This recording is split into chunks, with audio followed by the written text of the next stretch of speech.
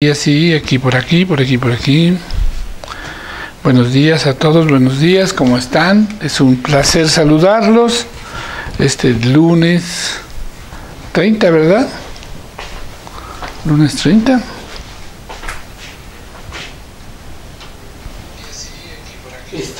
¿Sí, ya se escucha bien?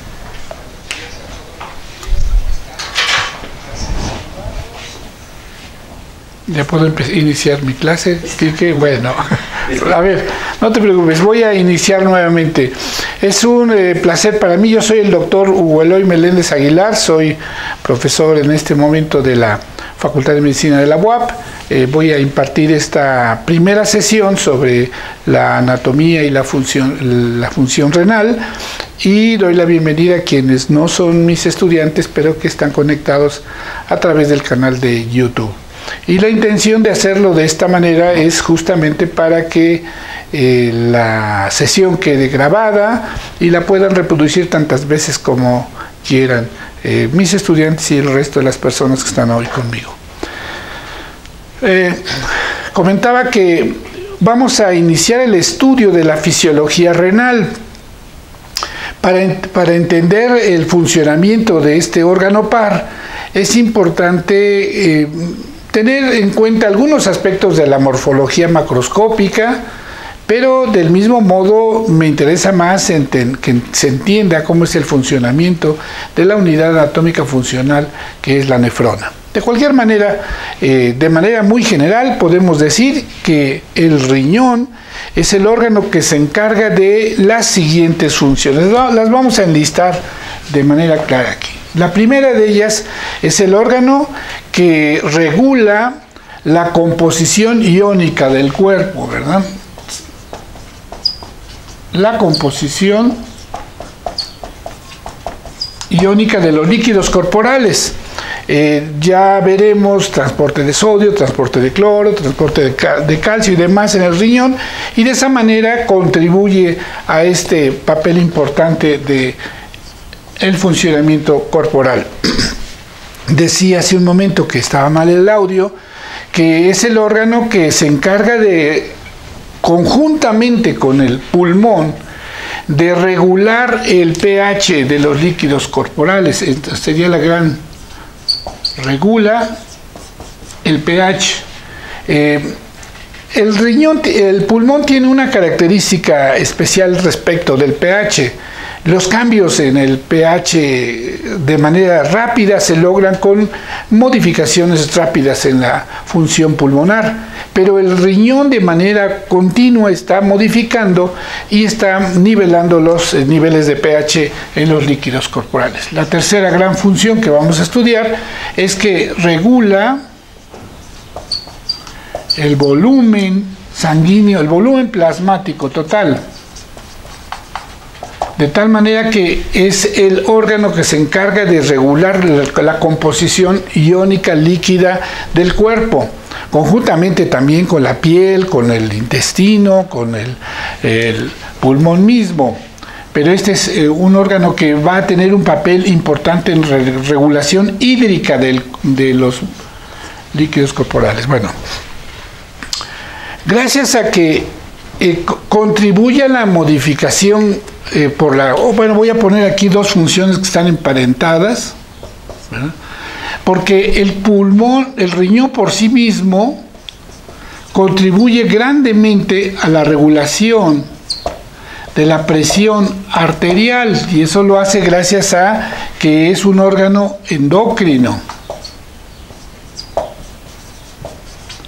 Porque entre otras de las hormonas que secreta está la renina que convierte el angiotensinógeno del plasma en angiotensina 1 la angiotensina 1 después eh, por la enzima conversora de angiotensina en el pulmón se convierte en angiotensina 2 y modifica eh, de manera sustancial la presión arterial. Por lo tanto, tiene una función endocrina. También secreta eh, la renina, como ya he comentado, la, contribuye a la secreción de eritropoyetina, y contribuye al metabolismo de la vitamina D, eh, contribuye, secreta el 5, el, el dihidroxicolecalciferol. Bueno, también ya veremos que uno de los papeles importantes del riñón es la de regular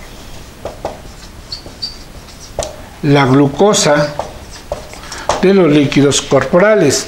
Y una de sus principales funciones es la de va a excretar los productos de desecho de la sangre. Este, esta eh, condición es la que nos va a mover más los siguientes días para mm, estar eh, pues eh, mm, describiendo los mecanismos que existen en las células epiteliales tubulares renales para que cumpla con esta función. Bueno, como se nos fue la, transmisión, aproveché para avanzar porque si no la hora no me va a dar y Aquí hice un esquema muy rápido del riñón de manera macroscópica y eh, más o menos eh, simple. Eh, ambos riñones, los seres humanos, por regla general, ¿verdad? De manera pues casi eh, unánime, tenemos eh, un par de riñones. Hay modificaciones, hay alteraciones en la presencia de los mismos, a veces hay uno solo, en fin, no, no me interesan las alteraciones. Ahora, nosotros partemos de, siempre de un hombre, una persona normal, y esta persona normal tiene dos riñones uno derecho y uno izquierdo. El, riñón del lado derecho está a unos dos y medio centímetros abajo del riñón del lado izquierdo porque el riñón derecho está, en sí, está abajo exactamente del hígado. Entonces este receso hepático está desplazado hacia abajo. de manera más o menos general, si nosotros ubicamos eh, eh, la columna vertebral, estará ubicado entre T12 y L3 los riñones. Cada uno de ellos tiene un peso que va de 135 a 150 gramos. Eh, dicen los libros viejos que tiene forma de habichuela. Bueno, nosotros en México conocemos mejor esto como un frijol, ¿verdad? Como una, una gran valla, de tal manera que tiene forma de frijol. Tiene un ilio y un cuerpo renal, eh, tiene un polo superior, un polo inferior, y las dimensiones del riñón van, se, tiene un rango de entre 10 y 12 centímetros de largo por unos 5 a 7 centímetros de ancho. Eh, en la disposición del riñón, bueno, la coloración y demás no tiene en este momento importancia. Voy a hacer de uno de los riñones, de este por ejemplo, un corte de tal forma que ahora lo voy a tener aquí de esta manera para que describa la composición interna del, riñón que me interesa. Voy a ir poco a poco. Aquí que se entienda, el riñón tiene una... Eh, un par de arterias renales que salen de la arteria este, de la aorta abdominal y son prácticamente ramas directas. Para la función del riñón, esto es muy importante, la cercanía que tiene el hilio renal con la aorta abdominal porque la presencia de esta presión alta en la aorta va a hacer que los capilares renales tengan una presión considerablemente superior a los capilares tisulares del resto del cuerpo. Entonces, eh, aun cuando el riñón del lado izquierdo está un poco más alejado, de todas maneras sigue siendo una rama corta, prácticamente perpendicular de la aorta abdominal. Y del mismo modo, la circulación venosa está prácticamente eh, inmediata a lo que sería la cava inferior. Bueno, aquí tengo esta condición. Ahora voy a hacer mi corte que ya habíamos comentado. Ahí está. Ahora, si yo corto el riñón, lo que voy a observar es lo siguiente, de manera prácticamente inmediata. Voy a observar que hay una cápsula renal, fibrosa, delgadita, muy delgadita, fina, que tiene un papel importante porque de alguna forma es la que limita y contiene las estructuras internas del riñón. Y lo que observamos enseguida es que de la parte periférica al centro se están formando una serie de pirámides separadas por unas columnas Y esta serie de pirámides tiene una coloración distinta entre la periferia y el centro, de tal manera que esta es una zona más clara y una zona más densa. Por lo tanto, al hacer el corte renal vamos a encontrar que aquí hay una corteza renal y a todas estas estructuras les corresponderá lo que sería la médula renal.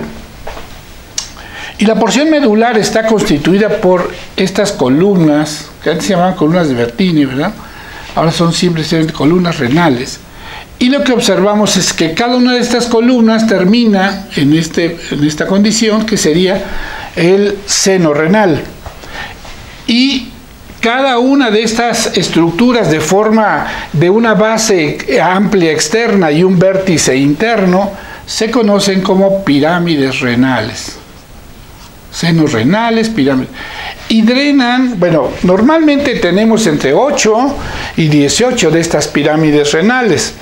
Y drenan y terminan en esta especie de cálices que se llaman precisamente este, cálices menores y estos también de, acuerdo al número de, pirámides que tengamos habrá este número de cálices menores y estos drenan en, las pelvicilla, en la pelvicilla renal. Tres cálices menores perdón varios cálices menores en un cáliz mayor son tres más o menos y estos drenan en la pelvicilla renal. No voy a hacer todo el esquema de todo el río porque ahí me tardaría. Bien eh, cuando nosotros eh, en esta estructura querramos eh, dibujar lo que sería la, unidad anatómica funcional del riñón, lo que encontraríamos es que todas las nefronas estarían ubicadas prácticamente ahí. Y cada una de estas cálices menores tendría, tiene una están cribados, tienen pequeños orificios que van a drenar en las pelvicillas renales y estas a su vez van a ir a formar los ureteros derecho y izquierdo. Estructuras que también vamos a estudiar más adelante de manera detallada. Bien, me interesa entonces, ahorita, antes de que describamos un poco más las, estructuras, me interesa que entendamos cómo es la circulación renal, porque de ahí va a salir mi estudio de la nefrona. Cada arteria renal, al entrar, al entrar al órgano,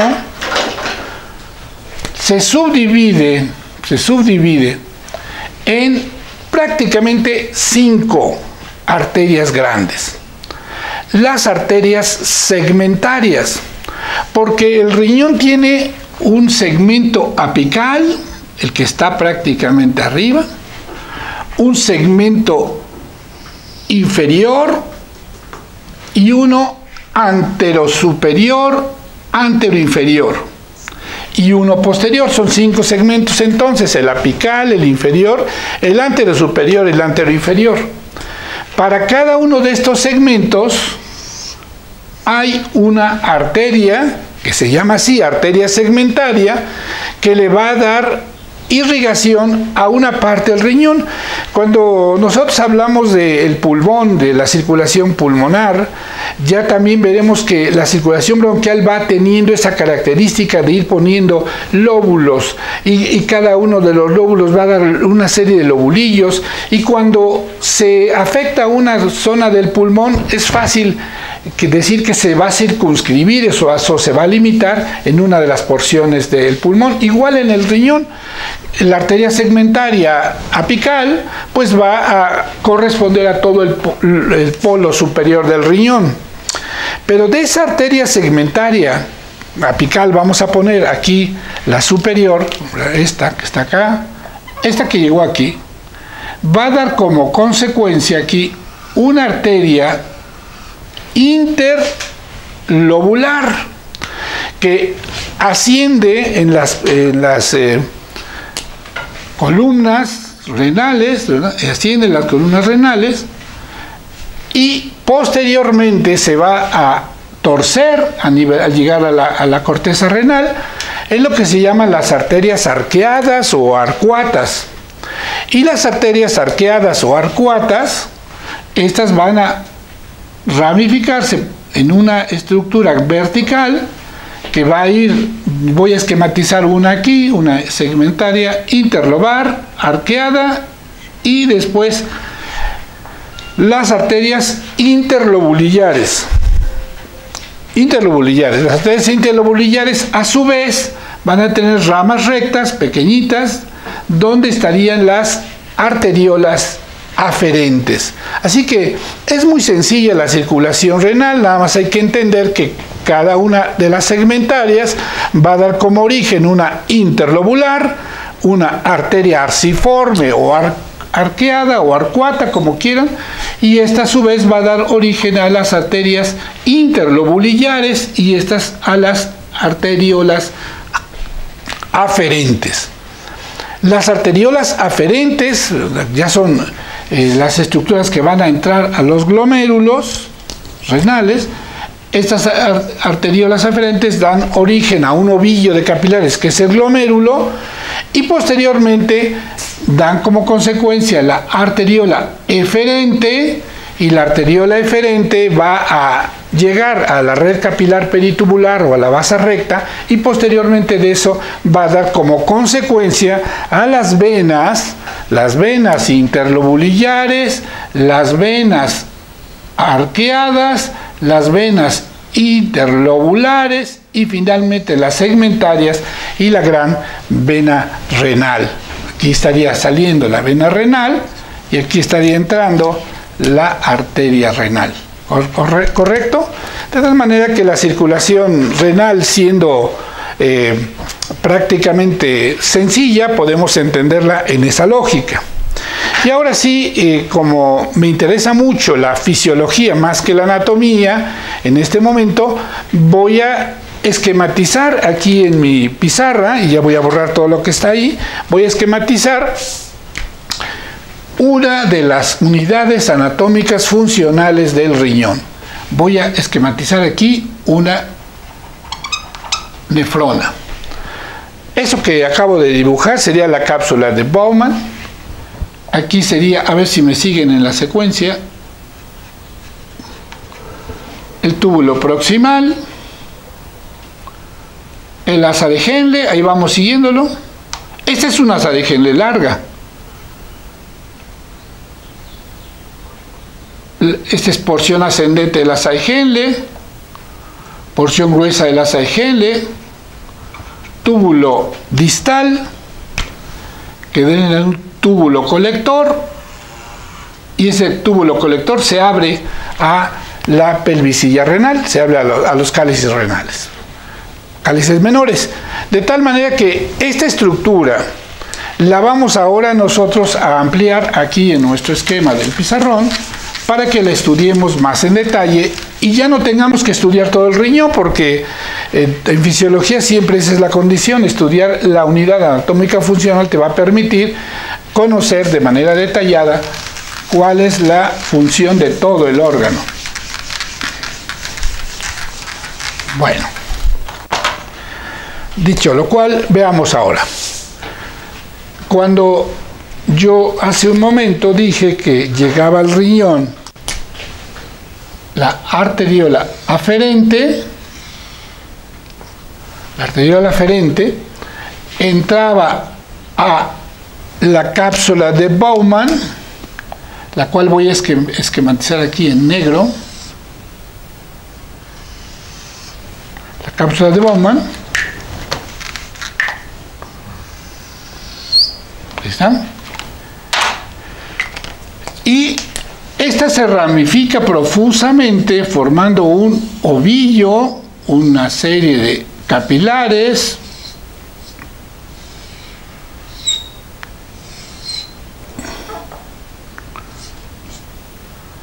para que todos ellos drenen en la arteriola eferente. Así estaría mi ovillo. Esto es lo que es el glomérulo renal, la arteriola aferente y la arteriola eferente. De tal manera que mi, mi cápsula de Bowman, ¿verdad? Está teniendo un polo vascular y un polo renal.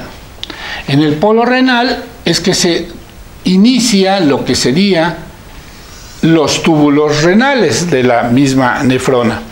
En este caso, este sería el túbulo horneado proximal o túbulo proximal. Me voy a detener más en la, en la cápsula en este momento porque me interesa que se entienda bien cómo está una de las primeras funciones del riñón. El riñón tiene una función que es la filtración. La segunda gran función es la resorción. La tercera función es la secreción. Estas tres en equilibrio van a dar lo que sería la excreción. Yo tengo, por lo tanto, a ver qué pasa con la hora. Ahí vamos, ahí vamos, tenemos unos minutos más. Eh, ¿Vamos bien, Quique? ¿Alguna, ¿Alguna pregunta, algo por ahí? Nada. No, no hay pregunta. ¿Están conectados? Sí, hay 23 conectados. Ah, ok, están mis alumnos. Ok. Entonces, tengo filtración, resorción y secreción. Vamos a estudiarlas de manera detallada. Y para esto voy a centrarme en primer lugar en, la, en el glomérulo de Malpillo y a partir de él explicaremos filtración. Y después al hablar de túbulos renales vamos a hablar de estas dos funciones que son las funciones tubulares. La característica de estos capilares, si recuerdan en las clases de cardiovascular, eh, cuando la arteriola se convertía en capilar, la arteriola perdía su, eh, su capa este, muscular, perdía también la adventicia y quedaba solamente el endotelio. Pues aquí parece que es prácticamente lo mismo, una arteriola que, cuyas paredes están constituidas de músculo liso, están constituidas de un endotelio y un eh, y una adventicia, de repente son solamente eh, tubos que tienen una sola capa externa, que es las células endoteliales del capilar glomerular. Pero aquí ocurre algo de lo más interesante.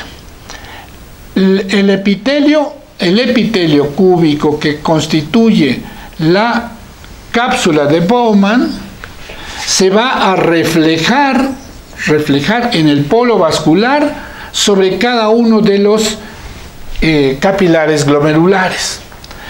Y si toma uno, por ejemplo, lo que hace es que las células que constituyen que constituyen el eh, epitelio del polo vascular se ramifican profusamente en una forma de pedicelos de tal forma que yo tendría esta condición aquí. Este es el capilar cuyas células endoteliales son de tipo fenestrado. Recordemos que los capilares fenestrados tienen pequeños discontinuidades, poros, orificios o fenestras que le dan esa característica de permitir el paso de sustancias de uno a otro lado, desde la luz del vaso hacia afuera o viceversa, pero enseguida yo tengo que aquí está la célula epiteliar tubular que envió esta serie de ramificaciones sobre el vaso sanguíneo, sobre el capilar. A esto se le conoce como podocito o pedicelo. Y entre, las, entre la estructura del endotelio y los podocitos hay una capa que es la membrana basal. De tal manera que con estas condiciones yo tengo que el capilar glomerular ya no es exactamente como ocurría en los capilares del resto del cuerpo. porque estos van a, van a, tener de hecho tres componentes. El endotelio del capilar, enseguida está la membrana basal y encima de ella están los podocitos o pedicelos. En su conjunto, en su conjunto, estas tres estructuras se les llama membrana de filtración glomerular. De tal forma que cuando la sangre entre, se introduzca a el glomérulo, la sangre llega al glomérulo, de acuerdo a las condiciones que ella tenga de presión, va a resumar, va a sacar eh, plasma, plasma a través de estos pequeños poros o fenestras. Y tiene que atravesar también el espesor de la membrana basal y puede atravesar entre los podocitos, de tal manera que ya se forma aquí una membrana de filtración compleja, la cual va a impedir que salgan moléculas grandes. En, en condiciones normales, por aquí no cabe una proteína grande. Eh, tal vez quepa la albúmina, eh, sin embargo, vamos a ver ahorita cuáles son las características de, de esta membrana que impide que la albúmina aparezca en la orina definitiva. Yo tengo, por lo tanto, aquí en el eh, glomérulo eh, renal, en el glomérulo eh, de Malpillo, una membrana de filtración. Esta membrana de filtración, aparte, los capilares glomerulares de repente tienen aquí células que estas células son células mesangiales que se parecen a los pericitos del resto del cuerpo y las células mesangiales que están de repente por aquí cubriendo tienen otra característica. Las células mesangiales también tienen en su componente interno mm, eh, actina, actina, perdón, y esta actina es contráctil y de alguna forma puede contraerse y eh, cerrar o obliterar el capilar, de tal manera que el papel de las células mesangiales en el funcionamiento del riñón es importante por esta condición de que están prácticamente cubriendo a los capilares, en, en varios territorios a los capilares glomerulares.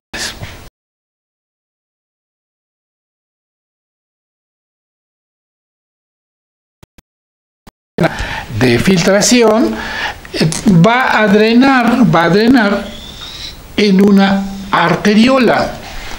Ahora, este es un sistema porta, ya que entra una arteriola. En el resto del cuerpo habíamos visto al hablar de, de, circulación general que cuando una arteriola se convierte en un capilar, el siguiente vaso se debe denominar vénula. Pero en este caso no es así porque la sangre que sale de esta pequeña estructura no se modificó en sus presiones parciales de oxígeno ni CO2, no se convirtió en sangre venosa, sino se ha convertido en sangre arterial modificada en sus componentes, pero no en sus presiones parciales y por lo tanto de una arteriola aferente voy a tener enseguida una arteriola eferente que sale de la misma. Y esta arteriola eferente, que ya lleva una sangre modificada totalmente, no, insisto, no en presiones parciales de CO2 y de oxígeno, pero sí en componentes, va a regresar hacia los eh, túbulos de la misma nefrona que le dio origen y a otros túbulos de nefronas cercanas para formar dos estructuras.